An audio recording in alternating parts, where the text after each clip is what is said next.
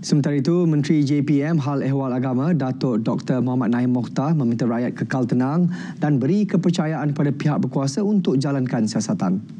Dan saya uh, memohon eh, kepada rakyat eh, khususnya yang beragama Islam untuk tenang dan berikan kepercayaan kepada pihak berkuasa untuk jalankan siasatan.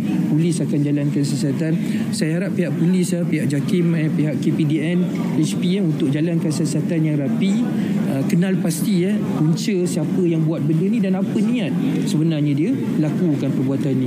Jadi kita tak nak perbuatan khianat ini yang melibatkan uh, kesucian dan satu perkara yang sangat apa ni sensitif dalam bulan Ramadan ni di kalangan orang Islam ni tidak tidak berulang pada masa akan datang. Beliau telah mengarahkan JAKIM untuk berjumpa dengan pengurusan kedai sebaneka terlibat bagi menyiasat insiden terbabit.